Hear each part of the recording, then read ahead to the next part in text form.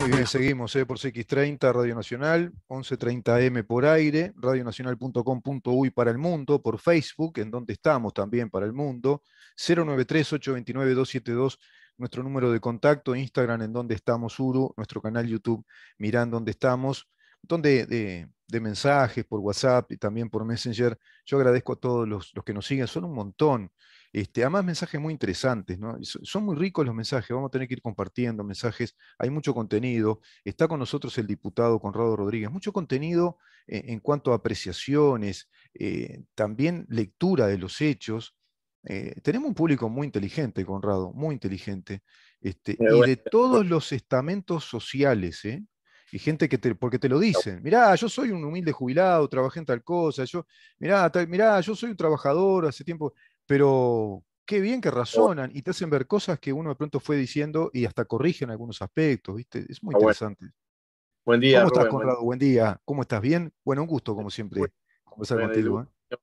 ¿eh? bueno, está buenísimo, está buenísimo. Y, tiene que ser así, ¿no? Porque más allá de que nosotros tenemos la oportunidad de utilizar un micrófono y en este caso una cámara de, video, eh, es, muy importante el intercambio con, con los ciudadanos, con los vecinos, este, con los uruguayos. Así que me, alegra mucho eh, que se dé ese intercambio, esos razonamientos en conjunto para, para analizar y en definitiva también llegar a conclusiones. Y está, está bueno, muy bueno. Está bueno, sí, sí. Yo eh, confieso que muchas cosas que, que, pregunto acá y algún razonamiento que traigo, también lo voy recogiendo de esos comunicados, ¿no? De eso que después, porque es post programa y empiezan a caer y a veces en la tarde y el programa lo vuelven a ver en las redes y comienzan a caer los mensajes.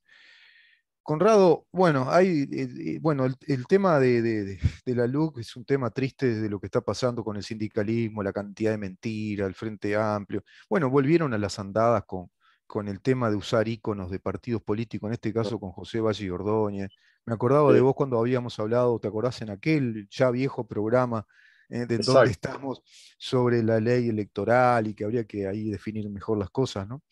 Eh, bueno, eh, este en, ese sentido nosotros nos hemos pronunciado nuevamente, el comité ejecutivo del partido también, lo han hecho varios actores, nosotros particularmente hicimos declaraciones. Este, nuevamente se intenta a través del engaño utilizar determinadas herramientas que están protegidas por la ley, por la ley electoral, donde ya hubo varios pronunciamientos de la Corte Electoral, el último es el que tú decís, este, que lo comentamos aquí, eh, allá por junio, 16 de junio, si, si mal no recuerdo, eh, en el cual nosotros habíamos hecho la denuncia ante la utilización de la imagen de Valle Ordóñez eh, para intentar recolectar firmas a favor de la campaña pro referéndum contra estos artículos, cuando justamente la ley electoral lo que establece es la protección no solamente de los lemas partidarios, sino también eh, de sus símbolos eh, y sus denominaciones, así lo dice la ley. Eh, en este caso puntual, Valle Ordóñez es un símbolo indudablemente ligado a la historia del Partido Colorado. Valle fue presidente en dos ocasiones por el Partido Colorado, aparte de ocupar varios otros cargos como senador de la República. Entonces, lo que, lo que intentan este, provocar aquellos que, hacen este tipo de utilización es la confusión de los electores. Ese es el principio, o digamos, eh, el bien jurídico tutelado por la normativa electoral es evitar la confusión de los electores. Eh, y, claramente se intenta confundir porque se utiliza la imagen, ahora eh, en los últimos días se utilizó también frases de don José Valle Ordóñez, este, como queriendo eh, intentar este, que aquellos que, se sienten identificados con una, con una, ideología, como puede ser la vallista, este, bueno, se vean proclives a votar el sí, porque, por lo que dicen ellos, este, eh, Valle, Valle, estaría eh, defendiendo los mismos postulados que el sí. eso no es así, en el fondo del asunto y también en lo formal, como acabamos de decir, pero en el fondo del asunto es muy claro, eh, Valle Ordóñez fue un gran reformista, él mismo se calificaba como reformista.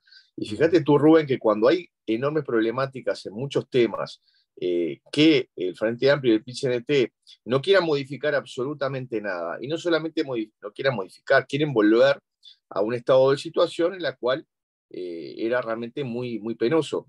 tema de seguridad es, notorio. Eh, números de los delitos y la violencia de los mismos eran escandalosos durante los gobiernos del Frente Amplio, y en todos esos años eh, no paraban de aumentar los delitos. Hay que tener memoria. Entonces, eh, cuando se aplican reformas, justamente aplicando el principio que utilizó Valle y Ordóñez durante su vida política, eh, es cuando una sociedad avanza, no cuando una sociedad retrocede, justamente cuando no se aplican reformas o cuando se quiere el status quo. Status quo, por ejemplo, también a nivel de las, de las corporaciones sindicales, que, claro, sienten de que pierden poder, entonces están desesperados y es por esto que el PCNT fue el primero en salir a recolectar firmas. Eh, su cuota de poder aseguradas por el Frente Amplio, por los gobiernos del Frente Amplio, se han visto amenazadas porque claramente en los, distintos temas de Uruguay venía retrocediendo, en materia educativa es, muy claro, como, como Uruguay eh, no venía rankeando muy mal en las pruebas internacionales de conocimiento, eh, y también en los índices internos, como el índice de repetición o incluso de no pasaje hacia la, hacia la educación terciaria, ¿no? Solamente cuatro de cada diez eh, salían, digamos, con, el, con, el, ciclo básico completo, eh, y después en los lugares más, más vulnerables la ecuación era muy, también era, era menor, ¿no? Este, solamente casi dos personas de cada diez terminaban el ciclo básico. Entonces, teníamos enormes problemas y gran parte de esos problemas era porque quienes gobernaban la educación eran los sindicatos, que ponían por encima de todo los intereses gremiales y, y de, sus, de sus propias corporaciones y no el interés del, educando, no el interés de los niños y adolescentes de nuestro país. Entonces, eh, estas son las razones por las cuales, desesperados, eh, utilizan la gran figura de Valle Ordóñez eh, y también dejan en evidencia de que no tienen figuras, ¿no? En vez de recurrir a sus propias figuras, en vez de recurrir a frases del propio general Sereñi, fundador del Frente Amplio, o del expresidente Tabaré Vázquez, dos veces presidente, vaya si pudo haber tenido alguna frase que la campaña del sí pudiera utilizar, lo que deciden es utilizar las frases y la imagen eh, de un símbolo, un ícono del Uruguay entero, pero sobre todo del Partido Colorado. Entonces, eh, esto está enmarcado en esa campaña de, tergiversaciones y engaños, que si me permitís, yo hice un, pequeño punteo de las cosas que se dijeron y que no se cumplieron por parte de la campaña del sí. A ver, eh, sí. pequeño punteo nada más. La campaña del sí dijo que con la, la normativa los cambios en materia de seguridad, los, cambios normativos, se iba a dar un gatillo fácil. Esto no ha sucedido. De hecho, los números demuestran que ha existido más abatimiento por parte de la policía hacia los delincuentes. Abatimientos, obviamente, es, eh, son muertes, ¿no? Este, en el enfrentamiento entre policías y delincuentes, se dio en mayor medida en, en, el último gobierno del Frente Amplio, en mayor cantidad, que lo que ha sucedido a, partir de la vigencia de la ley de urgente consideración. Así que está desmentido por la realidad esa, este panfleto de fácil. Ah, eh, y tiene una lógica incluso, ¿no? Hasta tiene una lógica, lo desmiente la realidad y creo que esa realidad responde a una lógica. ¿Cuál es? El coto al delito. Al ser más alto, el delincuente ya sabe que son claras ahora las maniobras policiales, el policía tiene en claro cómo actuar y cuando tenés claridad en el territorio, en la escena de acción, bueno, cambia la correlación de fuerzas. Ante, ante la ambigüedad, el delincuente sabía que el policía no podía hacer mucha cosa, este, y bueno, eh, evidentemente en, en, momentos de desesperación, policía de pronto disparaban. Este, ahora está más clara la regla de juego. Entonces, el, delincuente delinque menos y sabe que el policía tiene propiedad para hacer ciertas cosas. Sabe que el policía tiene más apoyo legal, eh, hay una presión eh, a favor del policía en cumplimiento del mandato que le establece la ley, obviamente presunción que cae ante una prueba en contrario, este, pero hay una presunción de que el policía actúa en, el cumplimiento de la ley. Eh, otra muletilla, digamos, este, por no decir engaño, porque hay que decir engaño, eh, cuando se habló de la privatización de la, de la, educación pública o de la escuela pública. un verdadero disparate, la, ley urgente de consideración no habla absolutamente nada de esto, y por supuesto el ánimo de ninguno de los partidos integrantes de la coalición eh, se nos pasa por la cabeza este, tal semejante disparate, ¿no? Eh, menos el Partido Colorado que tiene una, una larga historia justamente en, lo que es la educación pública, laica y obligatoria en el país, con, grandes referentes que han llevado adelante justamente las reformas eh, en materia. y se cae porque la realidad sí lo indica, porque la ley no dice absolutamente nada de eso, y se cae porque el propio presidente del Frente Amplio, Fernando Pereira, dijo que no era verdad, que era falso. ¿ah? Eh, luego dijeron con el tema del El presidente Robert Silva, incluso, ¿no? de la NEP, llegó el otro día a manifestar que más del 80% de la población se educa en la educación pública y que el Partido Colorado al cual, él este, integra tiene una, una, fortísima tradición de defensa y proyección de la, de la educación pública. Es, es, así. Además no hay nada que eh, la ley diga al respecto. No, nada, no, disparate total. Este, después, la inclusión financiera, la libertad financiera. ¿Qué nos, qué nos dijeron? Ah, ¿Qué nos pasaría hoy? ¿Qué nos pasaría hoy, Conrado, con la, con la inclusión financiera obligatoria? ¿Qué nos pasaría hoy con la cantidad de paros que hay de los sindicatos de la banca pública? ¿Cómo oh, estaríamos con la inclusión? Yo no sé cómo haría mucha gente para vivir, esa, esa es la realidad. Mm. Este, pero nosotros osamos, mirá, Rubén, osamos en darle libertad a la gente, ¿no? Qué osadía, ¿no? Este, algo que, forma parte de la esencia humana y que ha sido consagrado en todas nuestras constituciones. Bueno, nosotros somos unos atrevidos, ¿no? Porque le devolvimos la libertad a la gente, ¿no? Es una cosa increíble. Pero eh, nos habían dicho, el Frente Amplio en la discusión parlamentaria nos había dicho este, que los organismos internacionales nos iban a sancionar, que la OCDE nos iba a poner en las listas grises este, por justamente devolver la libertad de opción a la gente, ¿no? Aquellos que querían cobrar su salario por el sistema financiero que lo pudieran hacer y aquellos que lo quisieran hacer en efectivo también lo pudieran hacer, ¿no? Eh, no sucedió absolutamente nada de esto, nada de esto. Eh, otro eslogan y otro engaño y otra falsedad que se cae eh, justamente por, por la realidad.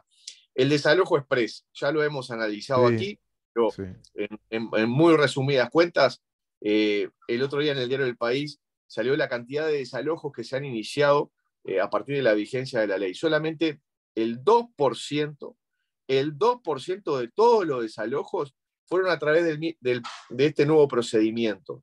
Solamente el 2%.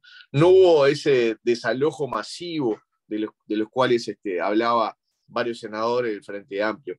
Y no se da el desalojo express porque lo hemos explicado aquí, porque una cosa son los tiempos de la ley, lo que establece la ley, otra cosa muy distinta son los tiempos judiciales. Y hemos hablado largamente de todas las etapas procesales que se tienen que cumplir para llegar al desalojo. Por lo tanto, no existe el desalojo express. Además, tú, tú, nos explicaste que, que, la ley establece todas las garantías legales de este contrato, porque primero hay que hacerlo por escrito, es un contrato entre las partes. Ese contrato tiene cláusulas las partes tienen la libertad inclusive de establecer en sus cláusulas determinado comportamiento.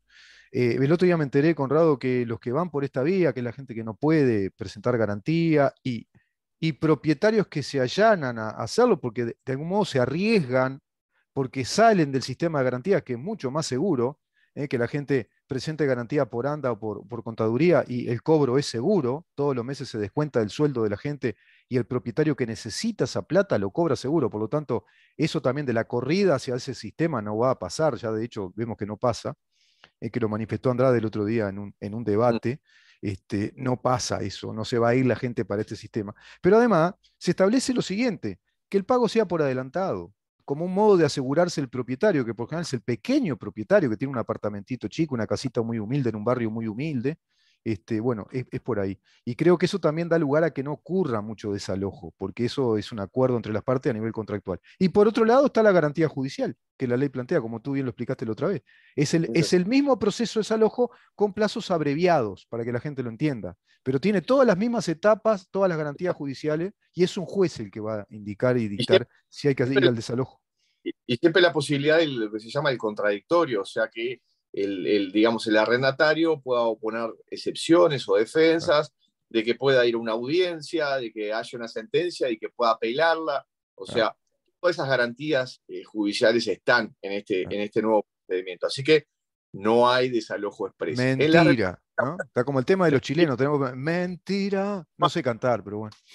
Falso. Este, en relaciones laborales, Este, mm. ¿qué, nos, ¿Qué nos dijeron hace unos, hace unos días? Otro disparate, ¿no? Desde, desde el Twitter oficial de la campaña del sí, que si te despedían eh, de, forma injustificada, vos no ibas a poder reclamar, no ibas a poder manifestarte ni, ni protestar, ¿no? Una, otro, otra mentira, otro disparate. Eh, obviamente, si a alguien lo despiden, tiene todos los mecanismos judiciales y de la ley para poder reclamar por ese despido. Cuando hay un despido abusivo, tiene una indemnización especial.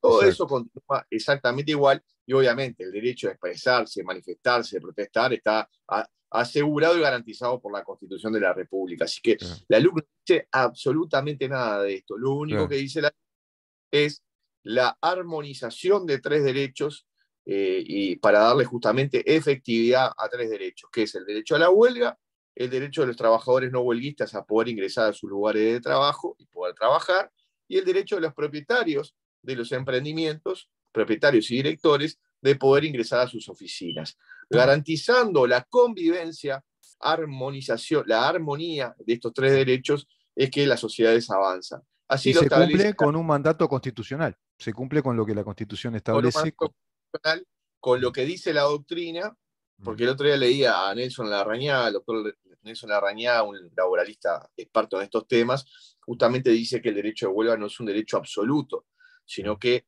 eh, tiene que convivir con otros derechos garantizados por la, protegidos por la Constitución de la República, entre ellos el derecho de la propiedad y el derecho al trabajo. Claro. Eh, Artículo séptimo de la Constitución, ¿no? Los derechos fundamentales que consagra la Constitución de la República. Entonces, y lo dice la OIT, la OIT. Claro, claro.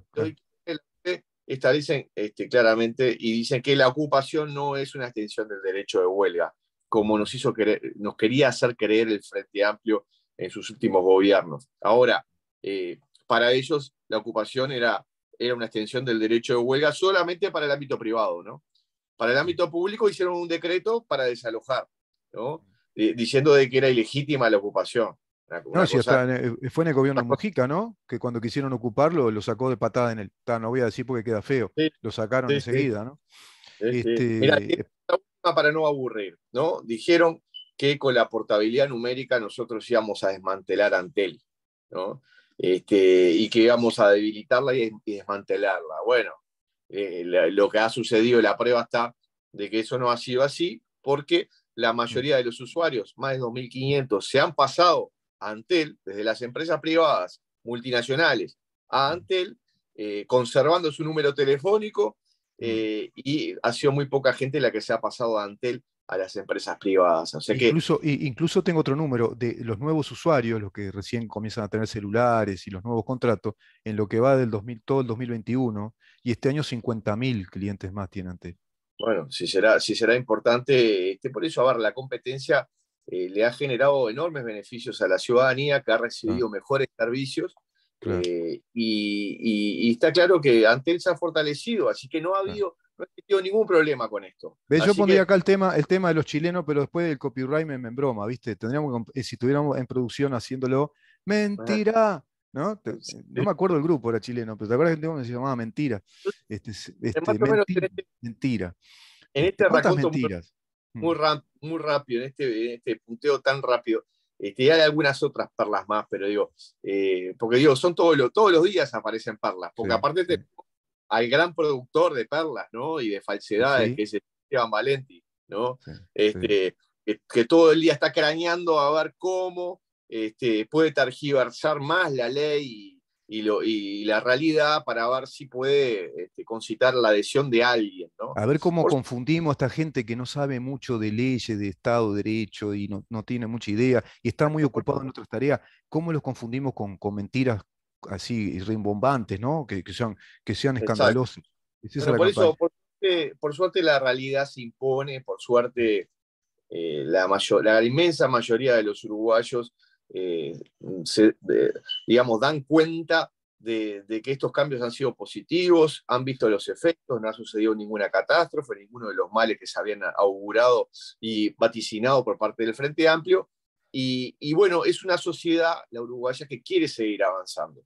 Y la manera para seguir avanzando es que esta ley quede vigente, que se vote por el no con la papeleta celeste, eh, en algo que, la verdad que si me permitís, en este tiempo te recorrías por, por todo el país. Ayer estuvimos en el departamento de Florida hasta la noche.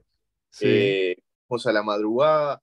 el martes estuvimos en La Valleja con una gira muy buena. Estuvimos en Canelones el miércoles. Hoy acto en Montevideo, eh, y así seguimos todos los días. Y vos sabés que lo que yo noto es que la gente en la medida de que eh, vaya analizando los artículos ¿no? y las temáticas recogidas por la ley urgente de consideración, claramente te dice, no, pero a ver, esto está bien. Eh, y lo que está bien no se tiene que tocar. Claro. Más, más allá de la bandera que uno sostenga o la ideología que uno profese, eh, la gente sabe que estos cambios eran necesarios eh, y por eso el Frente Amplio demoró casi seis meses en eh, adherir a la campaña que había establecido el PIT-CNT. Mm. ¿Por qué? Porque sabían que era una muy buena ley y que no tenían argumento para, para voltear esa ley. Y, además el sindicalismo ve indicios hay como una especie de, invasión territorial, pues ya que estamos en épocas bélicas, e, e, es, infeliz la metáfora porque es infeliz la guerra, ¿no? Eh, que es, tiene que ver con la regulación de esos derechos que tienen que convivir pacíficamente, porque es un mandato constitucional, porque la OIT lo reclamaba, porque no hay derecho que esté por encima de otro, si no, no estamos en un Estado de Derecho, no hay derecho más privilegiado que otro, que es la convivencia de la huelga con el derecho a trabajo, como tú bien lo explicaste, y el de propiedad. Este, y claro, y venía el proyecto que viene por ahí de la personería jurídica de los sindicatos, y creo yo que tendrá que seguir más, profundizarse más, inclusive hacia un voto secreto también, ¿eh? para elección de autoridades sindicales y abriría un sindicalismo más plural, más democrático. Bueno, ellos saben todo eso, ellos saben que se vienen esos cambios. Este, yo quiero, quiero la del estribo, este, mirá, te paso lo que dice Adolfo, encuesta sobre la LUC. con, las distintas consultoras, MPC 43% para el no, 35% para el sí, 22% indecisos. Equipos consultores, 41% para el no, voto celeste, 31% para el voto rosado, el voto del sí, y 28% de indecisos. Cifra, 45% para el no, 33% para el sí, 22% de indecisos. Es muy a favor eh, de la LUC eh, los porcentajes están entre el 43, 45% y entre el 33, 35% para el sí y 43, 45% para el voto por el no, el voto celeste de no a la derogación de la ley, para que la ley continúe. Pero hay entre un 22 y un 28% de indecisos, que también, dicho sea de paso, frentistas no son, porque el frentista y sobre todo el comunista, porque hoy está liderado por el comunismo a través del PCNT y el MPP, son muy definidos y decididos en su voto. Entonces ese voto indeciso es un voto más racional, más dubitativo, más deliberante. eso, eso se va a partir. Nosotros apelamos justamente a, esos, a esos uruguayos que todavía no han tomado una definición, eh, decirles con, honestidad eh, que analicen la ley. O sea, no, hay, no hay nada mejor que sacarse las dudas mirando uno mismo los artículos.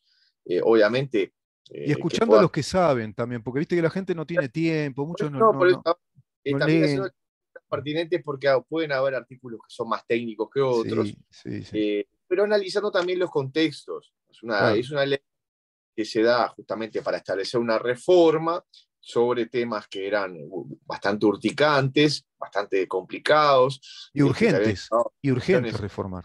Y era urgente, reformar porque el tema seguridad había una urgencia de cambio. Este, eh, mirando todo ese contexto eh, y mirando justamente también la voluntad de un gobierno de querer cambiar las cosas que estaban mal. Eh, por, clamor popular, Conrado. Era un clamor popular. La gente estaba clamando, reclamando por, la seguridad, no podía más. El tema económico, el tema de la inclusión financiera. ¿Te acordás? El tema de la inclusión financiera obligatoria, que veíamos, se nos venía el terror de la inclusión financiera obligatoria. En el centro comercial de, La Valleja, en una de las recorridas, y estuvimos intercambiando y justamente intercambiamos básicamente en estos temas, en seguridad e inclusión financiera. Eh, en seguridad eh, nos dijeron que, que, hubo un cambio en el departamento de La Valleja, un cambio a nivel nacional, ¿no? Mm. Este, pero, pero que los comerciantes están en otra situación, se sienten mucho más seguros que antes. Y en materia de inclusión financiera, eh, ellos fueron uno de los que impulsaron la, recolección de firmas, tú recordarás, sí. eh, llevar a plebiscito, al final no las presentaron, pero fue el centro comercial de La Valleja, de Maldonado, de 33, de Rocha. No la eh, presentaron porque el presidente eh, actual eh, había formulado que estaba en esta ley, en el proyecto, la intención de eliminar eso, ¿no? Es, decir, ir por una inclusión financiera libre, no obligatoria, y eso tranquilizó a la población, que estaba, estaba levantando firmas. Comprometido a ello, de hecho, yo había presentado un proyecto de ley derogando la obligatoriedad de la inclusión financiera, fue presentado en, el 2018, así que estábamos todos comprometidos con esto. Y, entonces, para mostrar realmente cuáles son las eh, preocupaciones de, que nosotros estamos recogiendo y que notan cambios sustanciales, y esto es lo más importante, eh, notan beneficios, cambios sustanciales y un mejor desarrollo de la, de la, vida, de la vida de cada uno de los ciudadanos. Y eso, eso es lo principal. Entonces, para los indecisos, para aquellos que todavía no tomaron una definición, lean la ley, miren la ley, miren los, los comentaristas objetivos, digamos, este, sobre, sobre estos artículos, vean los efectos. ¿Se produjeron males y catástrofes? No. ¿Se produjeron beneficios y cuestiones eh, positivas? Sí. Entonces, eh, eh, esto es lo que tiene que tener en cuenta a la hora de votar y, por supuesto, votando por el no, el no a la derogación, el no retroceder, el no volver atrás, el no pares el cambio, como decimos nosotros, el eslogan de España, este, es, es algo que es beneficioso para toda la sociedad. Nosotros, sí. Rubén, tengo que despedir que se nos viene la columna de Mercedes, si no, este, me va a matar Mercedes. Este, que tengas un, excelente fin de semana y, volvemos a, vernos, a reencontrarnos a la otra semana. En Carnaval no vamos a estar, o sea que será para el otro viernes. Bueno, perfecto. Entonces me viene, me viene bien para anunciar que vamos a estar el, 3 de marzo, el jueves 3 de marzo en Artigas, el 4 de marzo en Salto, el 5 de marzo en Paysandú, el 7 de marzo en Rocha y así seguiremos. Muy eh, bien.